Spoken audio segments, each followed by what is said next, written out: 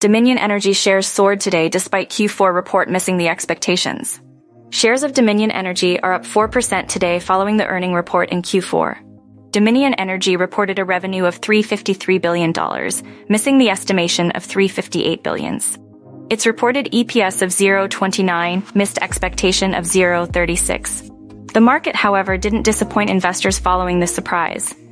This raise in the stock price may reflect the investors' broader view on reducing the risk of overvaluation of tech stocks.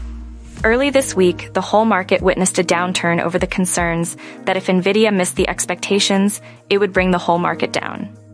The investors are now more open to move on and diversify their portfolio beyond tech market. Dominion Energy emphasized its commitment to safety, reliability, and carbon emission reduction efforts. The company also announced a significant partnership with Stonepeak, expected to bring substantial cost sharing and financial benefits.